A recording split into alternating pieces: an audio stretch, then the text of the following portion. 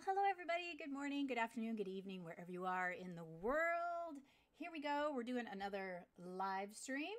Just making sure I can hear myself. Oh, let's see. Do I have my volume down too far? Oh, and Sheila says she's happy for another Monday. Let me see. Can I hear myself? Do you hear me? Oh, there I am. I hear myself. Okay, so I'm assuming you can hear me. All right. Yay. Well, happy to have you here for another Monday morning. Um, just a heads up, we won't be here next Monday. I'll give you an early warning. Uh, and then the Monday after that, we're doing a, a goats presentation. So with Hillary Hankey from Avian Behavior International. So, um, and uh, those of you who attended the Tower Talk, I, I had a different topic in mind, but you know, I get off in these different tangents when I start reading stuff. Welcome, Lincourt Stables. Um, hello, yeah. And, uh, and I, um, some of you may know this really fantastic article by Ogden Lindsley from 1991 that's all about whether we should use plain language or technical jargon. And, um, and so that's kind of what inspired this conversation today. And uh, it's a great article if you haven't read it yet. And, and I will have a link for you for members. Um, it is an open source article, so um, or so actually I can probably just uh, um, have a download for you uh, for those of you that are members if you want to check it out. But that's the inspiration for our our conversation today. So for those of you that are new, this is YOU be the Behavior Consultant, a live stream I try to do most every Monday. Like I said, next Monday have to take a little uh, a little break, and then the one after that we will do a global online animal training summit presentation. So those ones are really in depth um, with guest presenters. Um, and how does it work? I present a topic for discussion. Um, this is interactive. We want you to participate. So I've got some questions and things to prompt you to participate and give us your input, your feedback, your experience experiences. We like to have it interactive. And then we'll have a nice recap at the end. And what are we talking about today? We're talking about, oh, yay, great. Happy to have you here to chat with us on this topic. Yeah, this one is, I struggle with this one um, as well because I, I like to be precise, but I also want to be accessible. So we're going to talk about plain language versus technical jargon in animal training. And um, and uh, and uh, you see my little birds up there jargon the twittering and chattering of birds because that's actually the origin of the word jargon is i guess it's a um, my the stuff that i looked up said it's french in origin the word jargon and it really does mean the twittering and chattering of birds and then if you go down some pathways, it gets even more. Um, you can get into words like gobbledygook, and where that comes from, and um, and FOG is um, frequent use, or it's like frequent use of gobbledygook or full of gobbledygook or something like that. I guess that's another acronym out there, which I think is hilarious. So I might even start using FOG fog when I see lots of gobbledygook. Uh, anyway, so my questions for all of you, um, just to get us chatting here, um, is if you struggle with using plain language or technical jargon, and um, and I have to say, um, I do. uh, uh, and Chris says, "Oh, oh, she, she's a comment to Lincourt Stables. Nice to see some horse folks here um, using positive re- reinforcement, especially with the hunters and the jumpers. Yes, uh, our hunter jumpers. Sorry. Um, yeah, I used to ride dressage when I was a a youngin, um, way back when. Uh, um, so, uh, um, of course, th- those were different times, I guess, as far as how the training."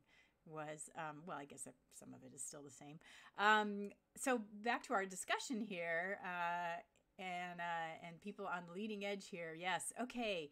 So um, do we struggle with the use of plain language or technical jargon? And then maybe you guys have some thoughts about maybe there's times when you feel it's more appropriate to use one or the other and we can talk about what those situations might be. And um, have you found ways to make it easier to be understood when when you feel like you're struggling? Hmm. Uh, oh, and, uh, and we're talking about how hard it is to get the dressage folks to, to get into some of maybe the the um, the kind of stuff you're doing. Hmm, interesting. Yeah that would be another a whole maybe one day we'll have to do a horse thing. I'm not a i'm not an expert on that stuff. I haven't been in that world in a long time but you guys could probably provide a lot of uh, interesting discussion on all that. I, I think i won one one ribbon a million years ago and i think it was sort of like a um a pat on the head saying you tried I wasn't all that good at it. I just wanted to go play with horses. I just wanted to give horses treats. Uh, okay, Sheila says, Yes, when I first started off as a trainer, I used all the scientific jargon and I noticed my clients were not understanding. So I started using more simple terms or analogies. Now I ask my clients if, and you're writing more, I'll wait for you. I guess uh, YouTube will only let you put in so many words, they limit you. oh, showing up is a win. Thank you for that. I appreciate that. Yeah, I just liked I just liked being around animals. Um, now I ask clients if they want the understanding. Oh, that's that's lovely. Um, I think that's a really great way to put it. Um, if asking the client if they would like um, the fancy the fancier word, so to speak, the scientific jargon. I have a slide in here that I think um, I'll get that'll sort of address that uh, because I think that's really important is to to not maybe not necessarily remove that option for the client if they want it. I think that's really important because um, I know I have some clients that are really hungry for more of that, and who knows where it may lead for some of them. I think a lot of us know that we've had clients that end up being really enthusiastic about animal training, and then they go on to become um, really amazing. Uh, you know, they, they get so involved in it, they start becoming, you know, more like professional trainers and go down that pathway once they've gotten a little taste of it, you know. So, so you, you start feeding them more and more and more stuff, you know. Yeah. So, um, so that kind of leads into a question, you know, maybe about who some of our, our our learners are, or maybe some of the audience, maybe who are some of these people that were using um, technical language and maybe plain language with. Who might some of those people be? Um, those that want more, I will explain, or I will add research or peer review the documents to their training plan. Oh, I really like that. Oh, you know what? So you maybe I should go to this slide because you're really onto something there. Um, I, okay, I think I'm going to go to the slide because you're making such a good point. Um, so providing a plain ex explanation but leaving the door open. So this was from a person who um, I, uh, I'm trying to remember her title now, but she wrote, um, I believe it's a good thing to include technical jargon in documents for the public and other groups who are not familiar with it, so long as it's well explained. And she wrote, There are two reasons for this. From a practical point of view, it's impossible to replace completely most words and phrases that fall into the category of technical jargon with plain English translations that are concise and accurate in meaning. Meaning, but from an ethical point of view, exposing the audience to technical jargon can help them to understand more about the field. This gives them more power and she and I thought this was a really nice um, analogy. Take the analogy of patients going to see their doctor. If they want to have a clear explanation of their diagnosis in layperson's language, but they may well find it useful to have the medical term too. They will then know if their diagnosis is the same as that of someone else they know, but be able to look up more about it in a book or on a website feel that the doctor credited them with the interest and intelligence to hear the use um, and use the medical term. I thought that was really cool. So this person who wrote this, she's she was more like the the outsider, so to speak, you know, the layperson when um, writing the article, um, and because uh, she when I, the rest of the article talks about like sitting in a room having to take notes with all these people that were talking in scientific language, and she was kind of bored and sort of not getting anything but just taking all these notes. And um and then she was like nah, well you know but it's it's but then when her child got sick she was like trying to understand everything and she wanted everything. And there were words that she didn't understand and sometimes they freaked her out but then she was like but I want to understand what that word means. So I thought that was that's kind of going um going along the lines with with what Sheila said. Um and uh, Lincourt Stable says, I've been introducing the science part gradually. Hmm. So, um, so who are some of these people that, you know, I think Sheila and Lincourt, you're kind of talking about maybe um, people that are clients that are working with their animals directly. Um, I start them with how fun it is to work with with the rewards, and then and then add in some education and terminology. Mm, yeah, so get them hooked maybe. get them hooked on it so that they're kind of curious. Yeah. I always ask my clients, what do they do for a living? Engineers and teachers are my favorite to work with. Oh, because they can probably already relate to at some level, right? Yeah, that makes sense. Yeah, I, I have I've done that before. When somebody says they're a teacher, I go, oh, this is all going to make sense to you, because they they already have a background, um, you know, working with their their students. Yeah, so that kind of makes me think about um, our audience um, you know, who might be some of these people where you're using your different, um, I guess, language or technical, plain language or technical jargon. So that's something that we might want to think about. So who might be some of the the people? So I think right now you guys are talking more directly with clients, but what might be some other people that you have to talk about animal training with or communicate with when it comes to animal training? I know I've had some situations where I've been like, ooh, my language here is going to be very, very, very important. and that's caused me to pause, you know, and really pick pick words that were very carefully chosen. What do you guys think about some some of those audiences? In addition to your clients, I would say. Like your direct clients, obviously, like the, you know, you've got the person that's working directly with the animal, but there might be some other people that that you're communicating with or in in general in the animal training world. Ah, your avian vet because she always wants to know my resource. Yep. I think veterinarians are people we need to communicate about animal training for sure. Yep, that's a good one. Definitely a good one. And then that gets you thinking about terminology, right? And and it can vary, I would imagine, depending on the individual that you're talking with. Any any other audiences that come to mind for some folks?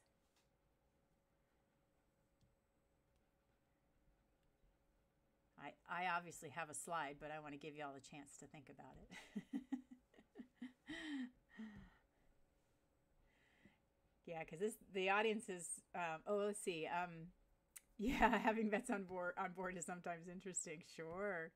Yeah, and you know because they have different backgrounds um, with behavior. You know, I've certainly had the experience with, um, you know, some schools uh, backed off on their on their programs that provide behavior um, you know, just financially it became difficult. And, and then some of the behavior stuff they teach is different. Um, coworkers from different departments at the shelter I work for, absolutely. Um, you know, they may not want the technical jargon. They it, they may be in the same boat as the client, where it's not something that they've had exposure exposure to. Peer to peer, also sometimes it it's um, challenging. And a group situation like a workshop, which may have people who are mixed in their knowledge, yeah, yeah, you guys are coming up with some good ones there. Yes, yeah, we have a whole bunch of audiences. So, um, yeah, so we've got, you know, we might think about our professional community where we might have a professional publication. We might be producing guidelines for an industry. There might be trade organizations that are communicating with each other. We've got our conferences. Um, and then we've got, you know, practitioners, you know, folks that are actually out there, you know, doing consulting and talking peer to peer, like you guys were pointing out, doing workshops. Um, so we may have a language amongst ourselves that we can use and we maybe understand between each other where we can be maybe a little bit more technical and and um, people it's it's a it's almost like a short it's almost like a like a shorthand you know because we under we already have used the technical jargon enough that we understand what that means and then you guys have been talking a lot about clients that, you know, that might be the person that's doing the direct animal caregiving um, or person doing the training. And it can vary, right? Some of those folks may be very, very knowledgeable. Some of them may have a limited background in the behavior science. And then some of you have already talked about different stakeholders like a veterinarian may have a stake may have a stake in the in that animal's welfare and some of us that work with facilities. It may be a director of the facility. There may be curators. There may be a board of directors that you know really are very disconnected sort of from the animal industry but they still have a say in what goes on with those animals. And then it may be family members um, if you're working if you're somebody who consults with families um, who have a, a pet that you know that maybe not everybody in the family is directly interacting with that animal but they still have an interest in what's going to be the outcome of that consultation. And again, you know, wide range of backgrounds there.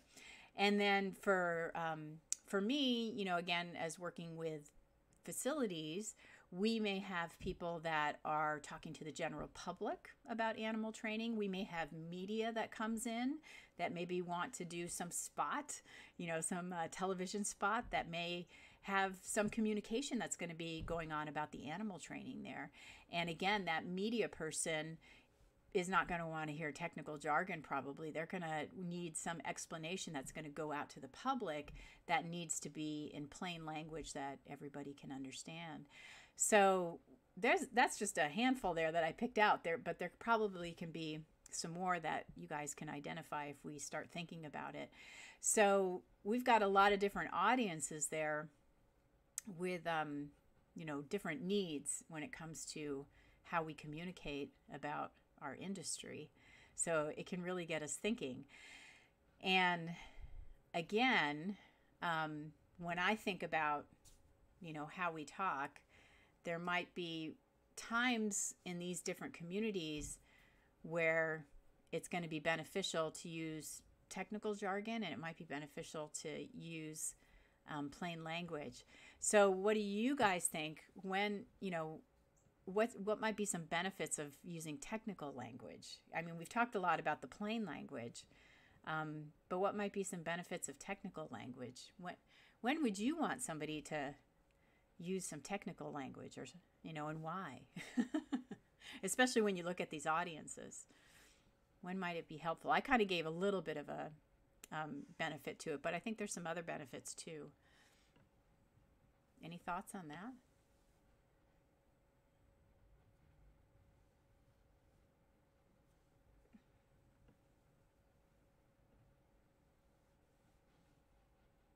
I'll give you guys time to type.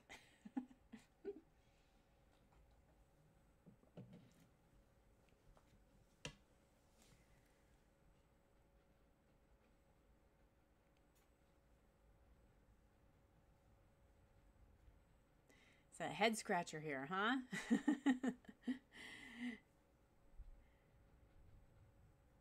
and you might even think about just times when you've found yourself looking for those words.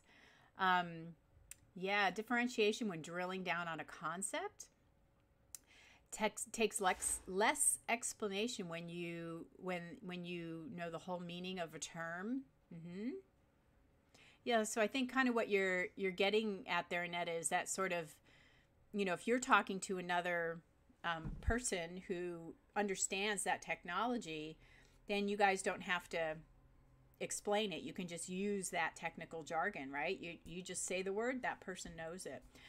Um, you know, you, like if you thought about another industry, like, you know, thought about a doctor talking to a doctor during surg- surgery, you know, you don't want them to have to go down to plain language. You want that doctor to be able to say, you know the exact technical jargon to that doctor right? You want them to be able to go back and forth with their technical jargon and know that the other one is knowing exactly what they're saying. You wouldn't want them to have to take it down to plain language right?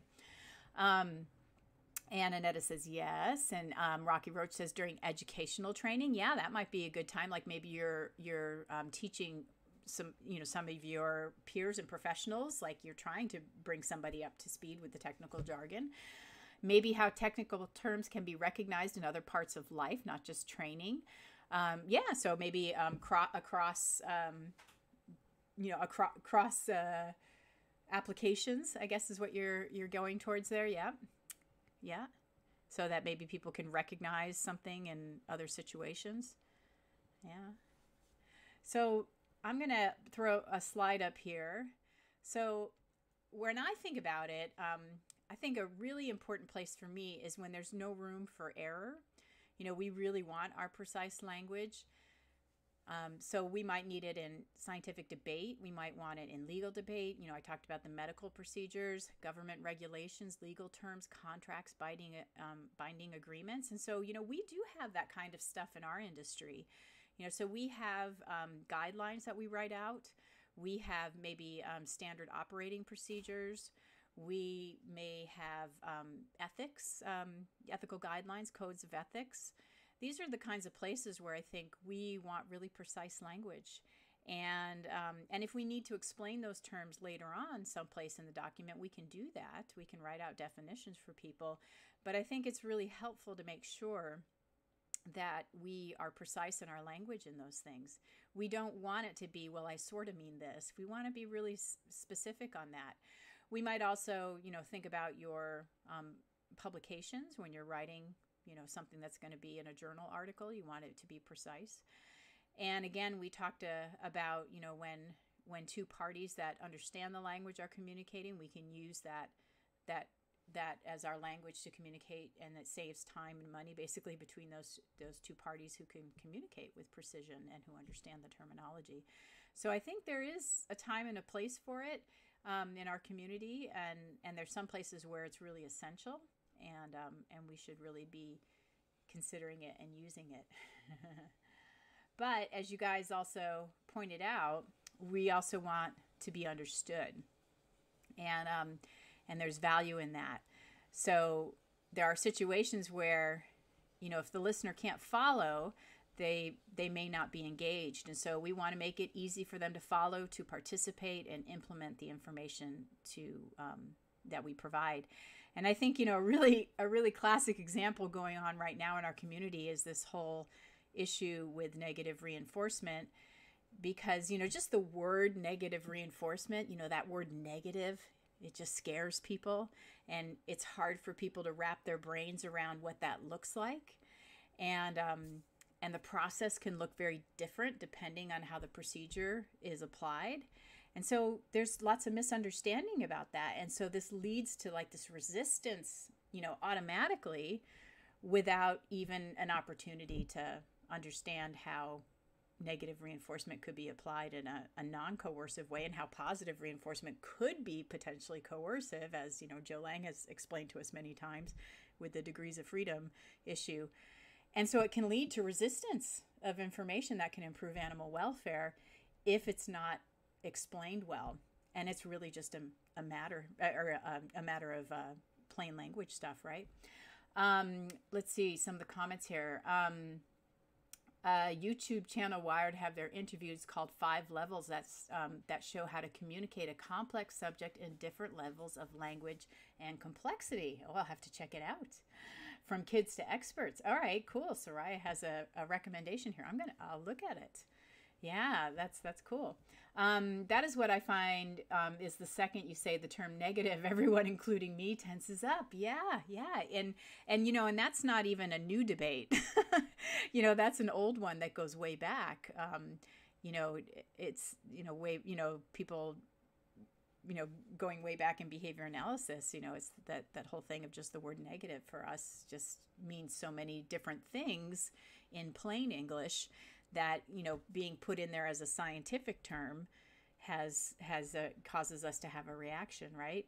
And so i so you know this kind of leads us to well what are some things that we can do to help make it easier to understand? And so i wonder if you you guys have any thoughts Ah, yes. Do you have a replacement? That's a great question. And punishment. Yeah, right. And punishment. So I think that's a um, a great um, a great a great uh, um, proposal. Do you have a replacement? And so those and maybe I'll just go to that slide. So what some people have done is they've come up with um, acronyms and analogies.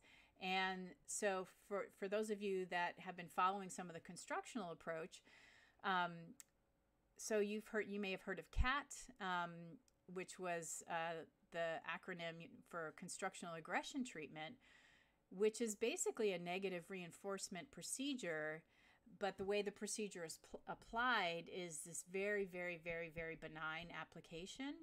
And so it's really a negative reinforcement contingency, but the way you do it is just so, so, you know, you set up your environment so that the animal, you know, barely notices the stimulus that in the past, you know, has elicit or, you know, or, um, you know, created a situation where the animal emits an aggressive response. And so, you know, the, the way you do it is is just so much nicer, right? Um, so, you know, using an acronym, um, and then I, the one I have above it here is, you know, a human one that I don't know that if people have used it, if it stuck around, but it was um, SIP, Sincere, Specific, Immediate, Personal. And this acronym lists the features used to select and deliver social reinforcers. It's important that praise be sincere um, and said sincerely. Praise must also be specific. You tell the person exactly what they did that you are reinforcing. And this is from the Lindsley article that I'm, I am, you know, most of this presentation is, you know, based on. Um, and then analogies, you guys are going to relate to this one. You guys have absolutely heard about the compliment sandwich, right? Um, where punishment sandwiched between two reinforcers, where some pe- management programs told people to mix reinforcement and punishment this way. And then, of course, it was found that this should be avoided. It makes people suspicious. It sets up reinforcement as an antecedent for punishment, making reinforcement less credible at other times. And so, in animal training, we've, uh, well, actually, Karen Pryor kind of coined the term, described this as something similar, and it was called the poison cue, right? And so that's why I have this very unhappy looking dog here. So maybe a leash instead of going for a walk is now paired with something aversive and so it's it's sort of this mixed signal right oh no did the audio go go away i can make it louder uh, i can do this i can make it i can raise it up a little bit see if that helps. Um, yeah, so uh, so so we can come up with analogies. You hear it? Okay. Um, we can come up with analogies. We can come up with acronyms. Um, I tried to turn it up. I don't know if that helped. um, we can come up with analogies. We can come up with acronyms. Yes, much better. Okay, good. Um, and uh, and some of those can kind of help communicate some things without having to get really complicated. So, like if you think about, um, and then you just kind of have to remember the word. So, like with the poison cue, if you sort of remember, you know, you're mixing reinforcement and and punishment together, or or or negative reinforcement and positive reinforcement together in a in an aversive way, or in a in an inappropriate way. Um, or constructional or or cat is um, is a negative reinforcement procedure to um, address aggressive behavior. Um, that that can be a, a, nicer way of saying those things.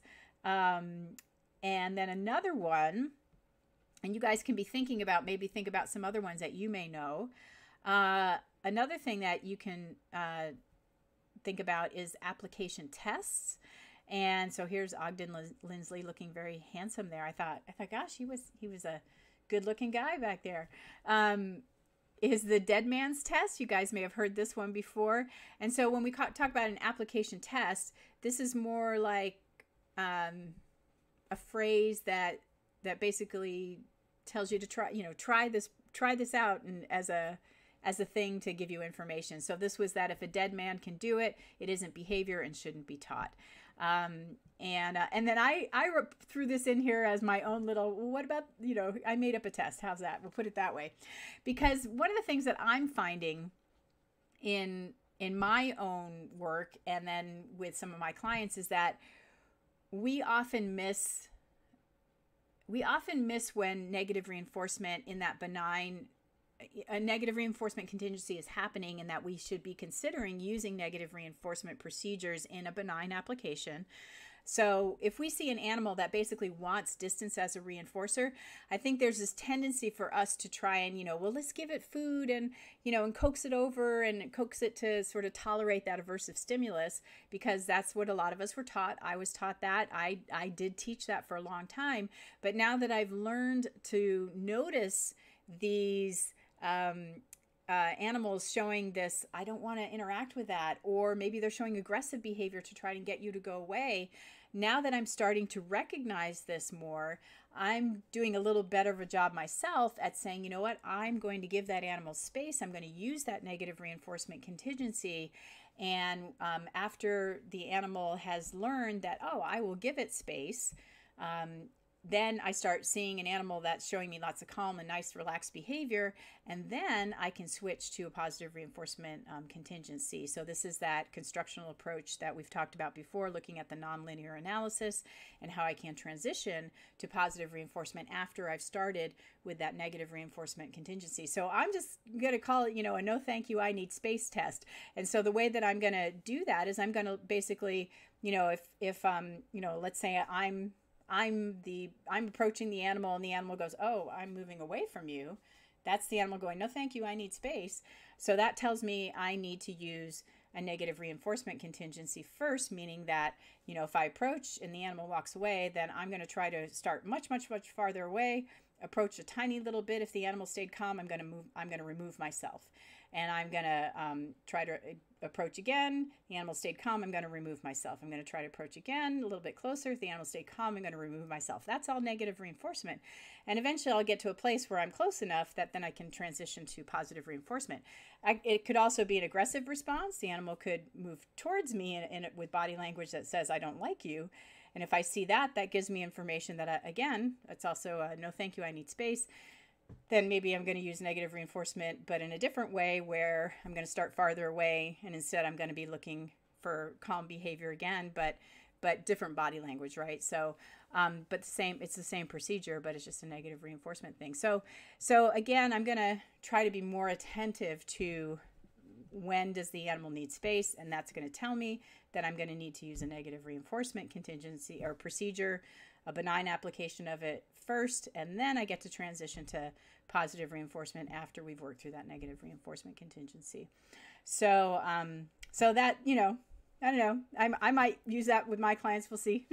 I know. Thank you. I need space test. my new made up thing. My new my new made up application test. We'll see if it sticks or not. Um, so um, yes. Okay.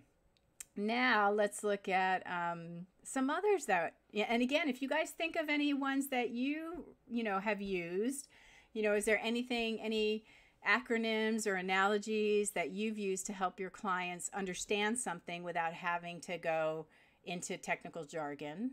That would be great to know. Let's let's uh, throw them in there. Anything that you've tried with your clients. Um, you may recall we did a live stream on catchphrases um, but again, these technically could fall under our um, analogies or application tests, um, right? So we talked about the rat is always right, Pavlov is, is always on your shoulder, behavior goes where, where the reinforcement flows. You get what you reinforce. Do you remember talking about all of those? But we just we just called them catchphrases in that particular live stream. And here's another one that was in that um, article. Um, behavior you take with you, accomplishment you leave behind. And um, and this was a quote that was credited to Tom Gilbert, another very famous behavior am- analyst.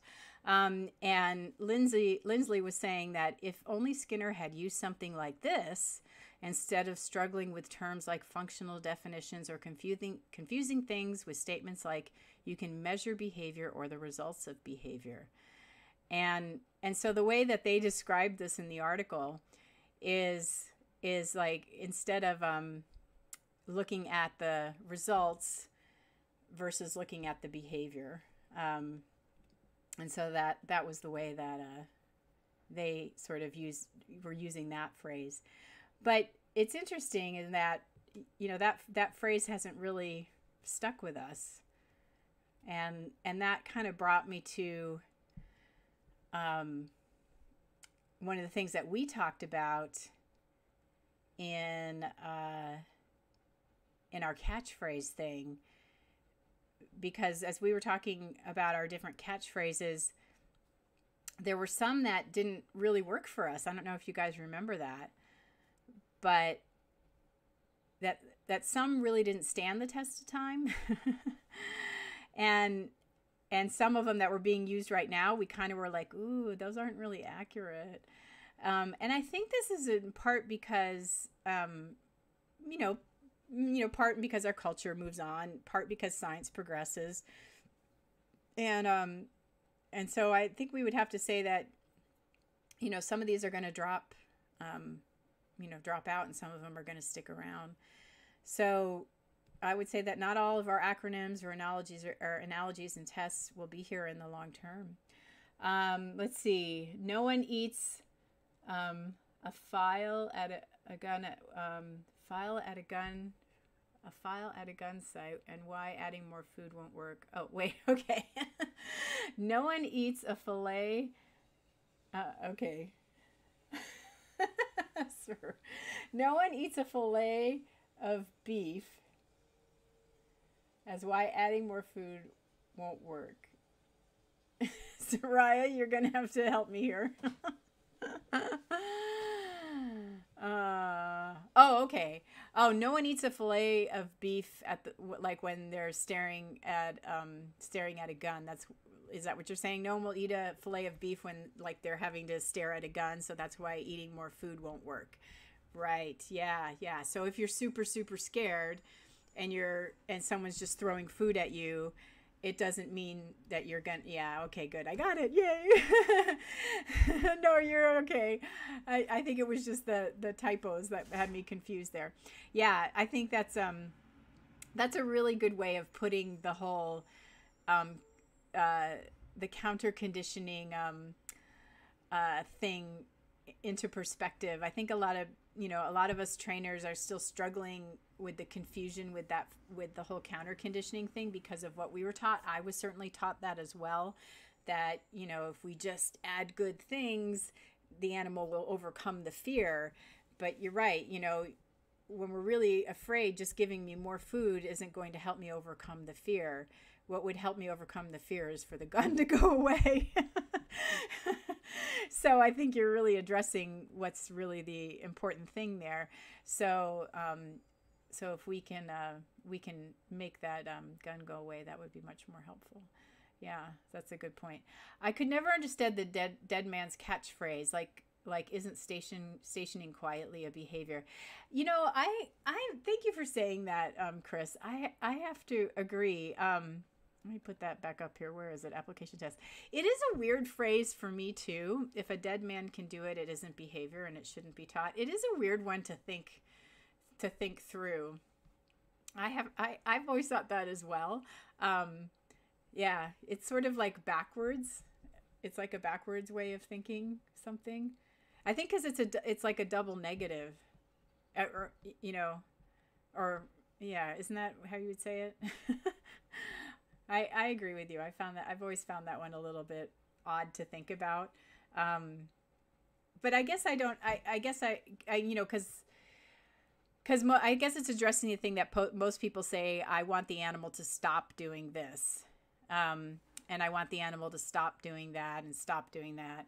Um, maybe being frozen and not breathing. But I think that's I think that's the way that most people are thinking is they want animals to stop doing stuff instead of to do stuff. And so I think that's sort of the direction that that's trying to address. So, um, so I tend, and, you know, and that's, I think maybe where people are going there. Yeah, Soraya says I don't get I don't get it. Maybe being frozen and not breathing. yeah. yeah. Um, but I think it's to help people get away from, you know, the stop the stop doing stuff and focus on the what do you want the animal to do instead of the not do. Yeah, um, that I think that's the idea. Um, I see what you mean. I don't want the horse to paw. yeah. Um, and trying to stop all possible behavior except the desired behavior. Yeah, yeah. So I think that's you know how how most people try to use use that um, that phrase, and or that's the challenge that people were getting into is I don't want him to do this instead of well, what do you want him to do? Um, yeah. Let's see. I got it. Yeah. But um, I like those uh, thoughts you guys were having there. Um, but yeah, so uh, you know, so kind of the the gist of that article. I should go back here because it is um, it is his article. It's Ogden Lindsley's article that um, is really the one about the jargon versus sim, uh, plain language, and it is it is a well known article. It's a pretty famous article that talks about you know how do we, um, you know, kind of help make it easier for people to understand. And there, it's really interesting. There's a chart in there um, with sort of you know the scientific terminology, sort of a middle, and then kind of plain language. And what's really interesting um, is there's a lot of use of the word reward in the article and and what's really interesting is i don't i i don't like to use the word reward um, uh, but there is a lot of that use the word reward in the article so that's one thing that i think is sort of um, kind of did get used and then kind of faded away again in animal training um, i think I, I mean i think you know people do, do still use the word but i feel like we've kind of gotten away from using the reward word um, a bit more lately. So I thought that was kind of interesting.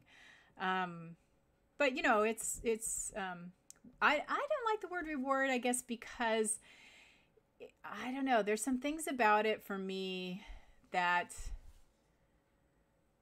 yeah that i mean i yeah it's a good question why not reward um i don't know i i yeah it for me it feels limiting Reward is understandable to the general public, though. Yeah. Um, yeah. I, I don't know. I, I, for me, I, I feel like it's limiting, and I guess I, I guess I, I tend to move away from it. Um, equine culture has problems with food as rewards. Mm, yeah, yeah, I've, I've, I've heard that before. Um, and maybe sometimes do people do they automatically assume that when you say reward it means food?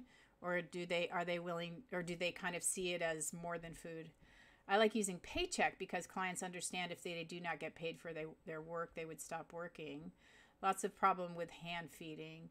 Yeah um, well that's an interesting well of course this is sort of like trainer talk now um, the paycheck thing because you know um, that's a that's that degrees of freedom thing.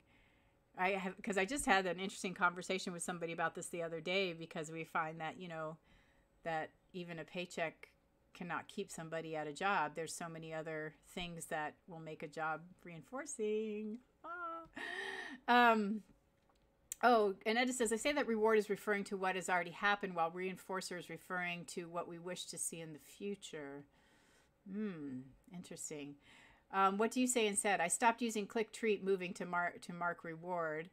Um, yeah, and and like treat is limiting too, right? Because treat only sounds like food, and obviously we have other things. And maybe maybe that's it. Maybe it's because for me, I like. I guess. Yeah, I guess. I, yeah, I mean, I tend to say reinforcer or appetitive. I like it. Well, reinforcer is if it's increasing. Uh, that's I, okay. Thank you guys. This is talk out loud problem solving. Um, I think I like to say the word appetitive now because appetitive is something. It's more open. Appetitive is can be anything the animal likes, and reinforcer means it's increased behavior, right? And maybe this is me this is good good thank you guys for getting me talking here. Um, and uh, and so if i'm if i'm trying to be precise in my language and also for my own understanding um, if I, I think a lot of people can understand appetitive. I think that is a yeah okay appetitive you know because we think appetite appetite's a word that a lot of people understand. Appetitive it is sort of you know, people kind of get that word, appetitive, something I like, yep, as desirable. And when you say appetitive, it's not so far for people to understand. And appetitive can be anything somebody likes. So it's it can be it can be a food item, it can be a scratch, it can be wanting to go outside, it can be play, you know, playing with something, it can be getting a hug, it can be, you know, watching your favorite TV program. So appetitive can be anything an organism desires or wants access to or wants to do. Um, and um, and then in terms of whether it's going to reinforce behavior or not, we won't know that until after, right? After we see what happens. So, um, so I think I t- I'm now I've gravitated more towards that because I know, you know, and then it makes me happy because I feel like it's a little bit more understandable and it's also precise. So it kind of makes me happy on both sides. um, and Annette is asking how many people will understand. Um, I I don't know. I feel like it's one that people could understand, but I guess you know the the time will tell, right? So you guys can test it out. um, I mean, I've been using it, but uh, you know, because uh, you know, it makes sense to me, and it, and I think it would make sense to clients. But we'll find out, I guess. Um, I mean, I know I've certainly used it in some of our documents we've worked on. Um, and again, uh, um, you know, you yeah, no, you guys can test it. You'll have to let me know. Try it out with your clients. Let me know if they uh, if they if they'll if they get it or not.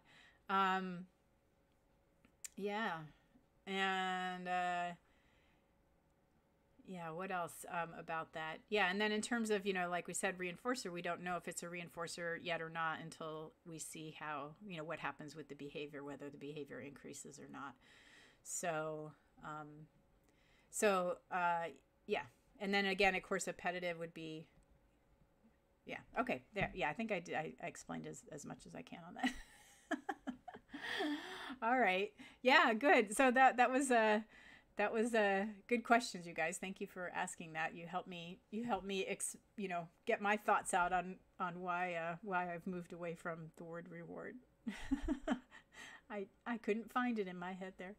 Um, nice word, appetitive in my lang- in my language. It's associated with food. Yummy, desirable opens up to other types of reinforce- re- reinforcers. Sometimes I go to it is something the horse would seek with clients. Okay, yeah, and and to me that sort of works with appetitive.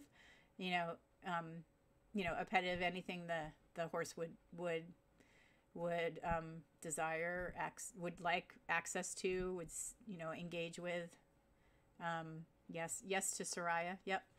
Yeah. Um, yeah, because it could be an activity. That I think that's the nice thing with the with the word appetitive is that it opens the for me it opens the door up to everything, not just food. It could be, you know, attention, activities, um, sounds, smells, all sorts of stuff. Um, yeah, because if I say desired item, then I feel like I have to say desired activity, desired sense, desired everything, you know. But when I say appetitive, it's like everything falls into that, you know. It I don't have to list list everything. if that makes sense. And that reward thing make to me kind of falls into the um, you know, kind of after the behavior occurred thing. And then the question of did it did it increase behavior or not comes into play. Yeah as they seek run away of, a, of an aversive um, also works. Yeah so um, aversive i still stick with sort of aversive stimulus i guess as i sort of still still stick with those words for for aversive i mean people seem to understand aversive that one still works hmm. that that word still works for people um, uh, uh, I saw did he once survive or thrive as a sim- as a simplification? Hmm. Oh, okay. For for maybe a, uh, um, a simplification for language, um, the word what they seek desirable. Um, oh, she's uh, asking, I guess maybe. Um, okay. Yeah. So lots of lots of ways to bring our try to yeah, it, it's it's it does take some uh, thinking though, doesn't it? To try, you know, again, you know, as we're trying to find these ways to simplify stuff. And I will say this article um, gives suggestions on how to try to find um, words that are going to work for you. Like it, it, it basically, you know, suggests doing kind of what you're doing here is writing these out and, um, and kind of finding the one that you think is going to stick um, and and trying them out with your clients, you know, and seeing you know what what makes sense um, to to them as well. So you know, nobody says you have to do it, or have to use the word that I'm using or su- suggesting suggesting. You know, there's um, um so like I said, I'll make this uh, article um, available since it was a open source one. Um, on the in the membership program, so you guys can read more about it and and how to how to kind of find the words that work for you and make it easier to communicate. Although you may already have them, like you said, you've been practicing already. All right, so let's see here. Maybe I'll recap this a little bit. Um, okay, so the word jargon comes from the old French word meaning the twittering and chattering of birds. It came into English in the 14th century when its meaning was extended to include meaningless talk or gibberish.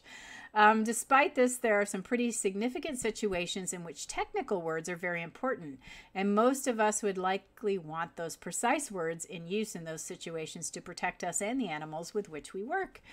However, it's also critical we are understood. Plain language can help make that possible for situations in which all parties are not using technical jargon to communicate.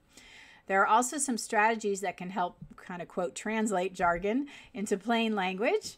Uh, we let's see um, we can use acronyms analogies catchphrases and tests. Be prepared for these to evolve or be dropped from the lexicon as technology progresses. Keeping one foot in the door with technology reminds us that animal training is rooted in behavior science and is a legitimate evidence-based field. Looking for ways to facilitate understanding with plain language can help us move forward with dissemination application and ultimately improving animal welfare um, let's see. Anetta says, I think it becomes more difficult when you teach English to people who don't have English as their first language. Tricky.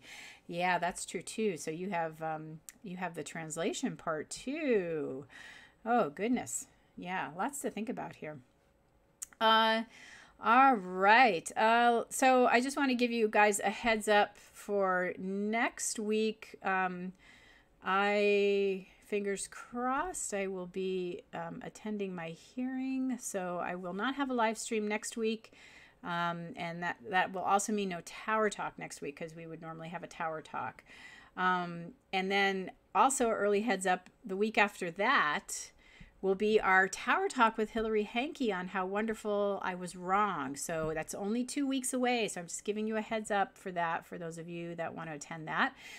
And then um, again, sort of a, an early heads up anybody in the Boston area, Boston, Massachusetts, if you want to go to the annual Applied Behavior Analysis International Conference, I'll be speaking at that. I'm very excited to be there. Um, so, I'm going to be talking um, more about the constructional approach uh, and basically how it has really helped me with some difficult situations, some difficult cases. And so this one's going to be more of an overview of how the the sort of different elements of the constructional approach, um, you know, about nonlinear analysis, about uh, uh, about um, or nonlinear contingency analysis, going to be about behavioral freedom, going to be about um, gosh, I've, I've, I've broken it down into so many different uh, categories and how I use that now when I look at um, animal training and and how to improve animal welfare using a constructional approach. So yeah, so that you know, it's a group of us. There's I think there's like 25 of us doing a whole bunch of different series of lectures on constructional analysis or um, constructional approach. So yeah, so Sheila, if you're you're in Boston, come on out or nearby. Um, yeah, so it's pretty cool. We've all kind of coordinated, so all of our presentations sort of support um, how how how the constructional approach can be used in a whole bunch of different areas. So it's pretty cool. And then um, again, the Constructional Approach to Animal Welfare and Training Conference is after that in July. And then this presentation is very, very specific on, on the procedure and how to apply it with groups of animals, with hoof stock in particular. And so this is a very detailed presentation on, um, on, on some steps and how to do it with groups of animals. And that's one, that one's online. So if you go to um, the um, COUT.com website, you'll see more information on that. And then just a reminder for anyone who's not a member of animaltrainingfundamentals.com, you get access to all sorts of cool stuff. If you just go to animaltrainingfundamentals.com, you can uh, join join us all there for all sorts of cool things. All right, Ooh, there I am, big in your face. Um, all right, guys. So, um, so I don't get to see you for a couple weeks. I mean, obviously at the goats thing, I'll be there to introduce Hillary and and uh, talk to you a little bit there. But it's mostly Hillary uh, on that one. So that'll be a really good one um, with her. And uh, yeah, so All right. Um, and again, I'll make all, I'll get all, hopefully get all this up, if not today, tomorrow, for those of you that are members with the links to all the resources. I have quite a few resources for you on this topic today. And um, I'm looking at my, yeah, um, yeah, there's links, links to quite a few resources and also, um, and then I'll have the article um, for you as well if you want to read some more. Yeah. Cool. Oh, and Kathleen Morgan's here too. Woohoo! All right. Yes, and Hillary's talk um, will be really good too. Yeah, I'm looking forward to that too. Though. Thank. Uh, how wonderful I was wrong. How we can learn from our mistakes. Which, good lord, yeah, I've got plenty of those. All right, guys. So um, I will look forward to seeing you uh, not next week, but the week after. And I appreciate you all being here and helping me talk some things out loud uh, that that helped me um, put into words some things that I was having a hard time putting words in, uh, putting words to. But that's always helpful. That's a good practice to do, right? You got a, a whole nother thing to learn about there. Uh, but that's a, a talk for another time. Okay, guys. Well, we're a little early, but not too bad. Um, again, uh, thank you for being here, and I look forward to catching up with you next time. Oh, yeah. Thank you for the safe travels. I appreciate it. Wish me, send me all your, your positive vibes. I'm going to need it. All right. Oh, good. Thank you. An interesting live stream as always. Okay. Well, I like I love hearing that. I keep trying. We'll hopefully have some more good stuff for you down the road. Okay, guys, take care, and I look forward to touching base with you again soon. All right. Bye, everybody.